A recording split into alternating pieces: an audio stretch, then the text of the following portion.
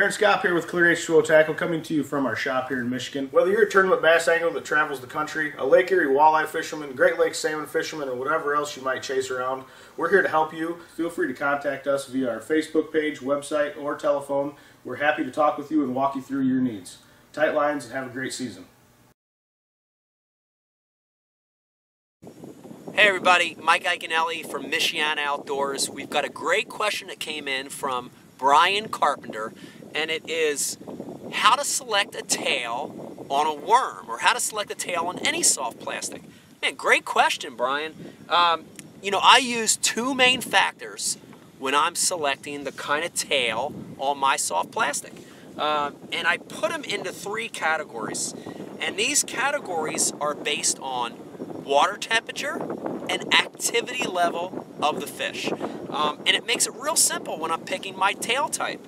Let's start on cooler water, less active fish. Okay, so we're talking about water temperature that's 50 degrees or cooler, fish that are lethargic because of a cold front, because of water clarity. They're not active. In those conditions, I go to a tail that has very little action to it.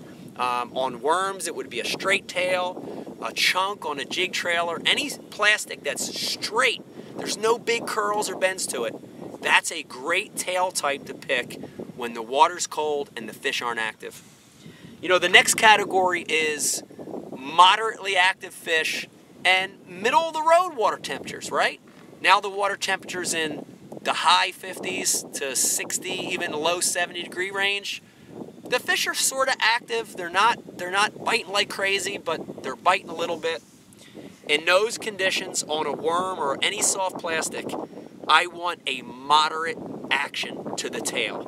Um, a lot of them on a crawl or a worm, just a little tiny curl. Just this is a this is a Berkley power worms. It's got a little tiny rib tail on it.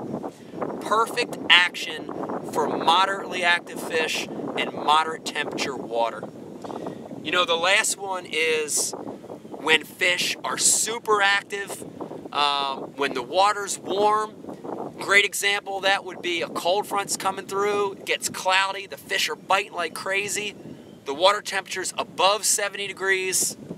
In those conditions, on a soft plastic on a worm, I like high action tail.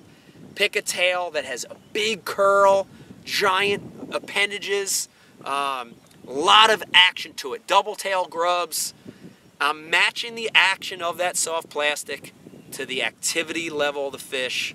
That hot water, they're eating a lot. They want something with big movement. Think about activity level of the fish. Think about water temperature. Select the appropriate tail, and you're going to catch more fish. Good question, Brian.